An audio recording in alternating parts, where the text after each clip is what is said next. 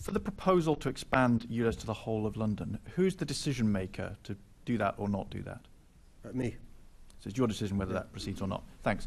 Um, the, um, my question is about the cost of that. So the uh, independent impact assessment, which you referred to earlier, um, says that it will make no difference, the, this expansion will make no difference on climate change, uh, no difference on particulate emissions or particulate uh, quality in the air, and very minor difference in uh, nitrogen dioxide levels. When you look at the hardship that that's going to impose on people, how, how in your judgment, is that uh, worth proceeding with? So I, I don't recognise the, the no nitrogen dioxide or particulate matter or carbon. Okay, well, so on the independent impact assessment, uh, table 9.5 on page 165 says that to take two places at random, uh, Sutton's particulate level will go from 9.5 without the scheme to 9.5 with the scheme. Croydon's will go from 9.6 without the scheme to 9.6 with the scheme, so that's no change. Uh, nitrogen dioxide levels from 19.5 to 19.2, Sutton 19.0 to 18.7, Croydon, those are very typical levels. N- No real change in particular No, that's levels. all right. And 1.5. So table 9 point, uh, sorry, table um, 9.5 on page 165 of the independent of the, of the integrated impact assessment. Those are the figures. Right, so, so I'll look at that particular page. I've not got that page in my, in my bundle, as you'd, as you'd appreciate. But no, so we've already seen reductions in all those things uh, in relation to central. Uh, uh, in inner, we've seen reductions in nitrogen uh, oxide. And the expert analysis is further reductions in nitrogen dioxide should it be expanded.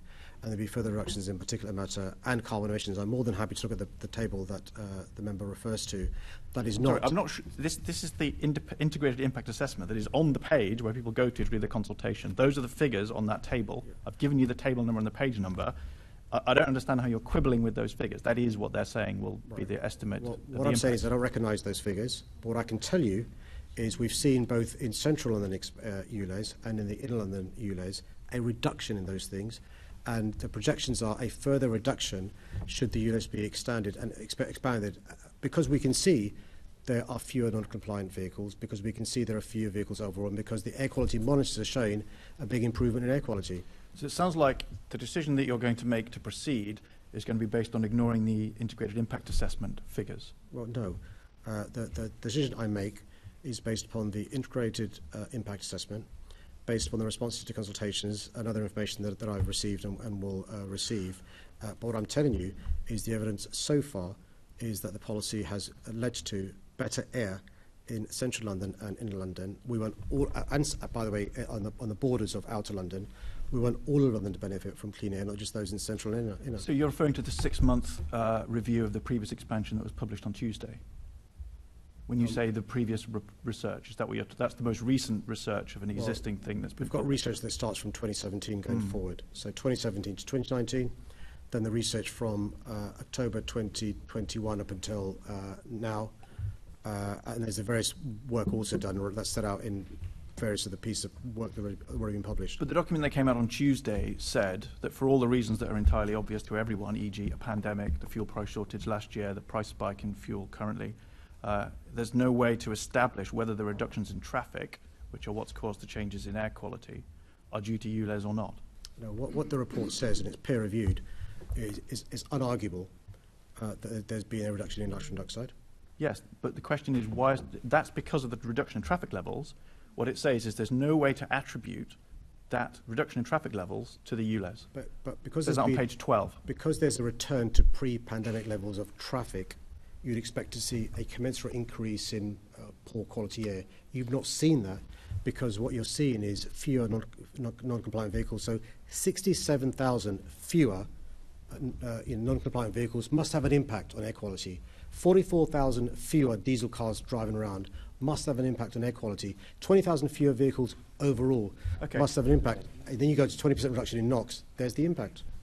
Okay, But the reduction in non-compliant vehicles would have occurred anyway, some level of that from cars naturally being replaced. Six, And- 7,000. And the, as I say, the report that you're talking about that came out on Tuesday specifically says on page 12, so it's limitations of, the, of this analysis. It says there's no way to tell how much of the reduction is due to, to the pandemic, how much was due to the price spike, and how much was due to uh, fuel price surge, and so we need to keep monitoring. So it flatly contradicts what you're saying. Uh, so it doesn't give me confidence that you're going to rely on other documents if they don't say what you want them to say. And we are monitoring. Uh, just like, for example, uh, we saw in, uh, in inner London a reduction uh, by 37% of uh, NOx uh, just from the central London uh, ultra low uh, emission zone. That 37% uh, is not completely attributable to, attributable to, uh, the units in central London because some of that is because of cleaner buses. Some of that is because more people using public transport. So I accept in relation to some of the stats, you can't say they're all due to the ULEZ, but you can't run away from the fact that the expansion of ULEZ uh, over six months has led to reduced nitrogen dioxide and also returns to pre with, but it says you cannot attribute it to. That's what it says. any uh, return to pre-pandemic levels of traffic, but not a return to It it also says there hasn't been a levels return pollution. to pre-pandemic Sorry? traffic. It, the report also says there hasn't been a return to pre-pandemic traffic. Uh, in term, uh, you, you referred to people switching to public transport. So the integrated impact assessment also says, uh, page 87, it points out the obvious fact that it says for inner London, the bottom 20% most deprived areas still have relatively high levels of access to public transport, while in outer London there are much larger areas with low PTAL scores in areas of high deprivation, which is also where it points out is where you find more non-compliant vehicles. Um, do you not think that undermines what you're talking about, which is this, it induces a switch to public transport? It's not going to happen if there's no public transport alternative. Instead, it will just impose a cost of living burden. Do you, do you recognise Yeah, that you, in got- outer you, London? you, you need to have decent public transport. So one of the things we're trying to do is to uh, improve public transport in outer uh, London, uh, which is really important. By to, next August? to give to give people uh, to give people the alternatives. Well, it depends where. Uh, that there is a paucity of public transport that needs improvement is. In relation to the point about So, sorry, so my residents in, in Croydon and Sutton, if they have this imposed on them, what improvements will there be by August next year when you're proposing to bring this in? 13 Well, months away. a lot of uh, your residents in Croydon and Sutton who are poorer don't own a vehicle. A Yeah, lot they of them suffer do. the adverse Those are the ones who are hit by your cost of living charge. So, so, so the cost of living charge is now, what they're going to call it. Uh, we saw Yeah. we saw similar arguments in 2021. We saw how that Well, it becomes, look, it becomes apparent because when Assembly Member Ahmad asked you about cost of living, you showed great sympathy for people who are struggling. Yeah. Well, when, I- when I well, I point was- out, or when anyone gonna- points I out, was gonna answer your question when and you interrupted it with the, a charge. The imposition of this charge and the, and the effect that that will have in terms of hardship on people who are struggling, who will struggle under the burden of your ULEZ charge, you seem to show no sympathy for them at all. Is it my turn now? Okay.